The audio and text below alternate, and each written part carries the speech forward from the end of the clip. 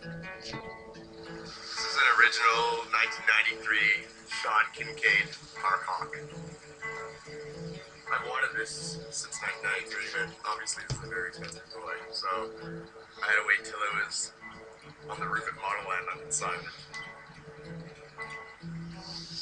Elevator and rudder controls, as well as lots of power. Almost to the wall, man. I've never flown this before, and I'm kind of nervous. Right.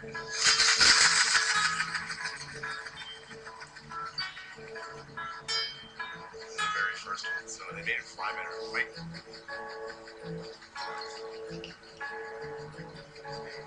Just the wing.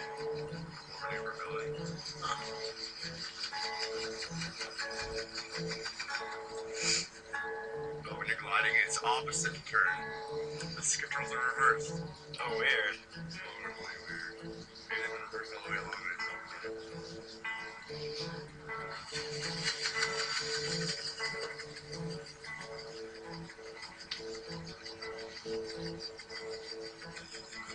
You know, sometimes you want something forever and then you get it, you're down. Not true. I'm so impressed with this Parkhawk.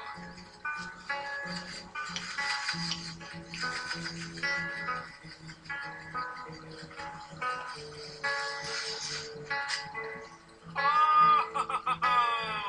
talent. what do you think? It's awesome. I love it. It's a little scary. It hit solid. It landed solid. I'll tell you that.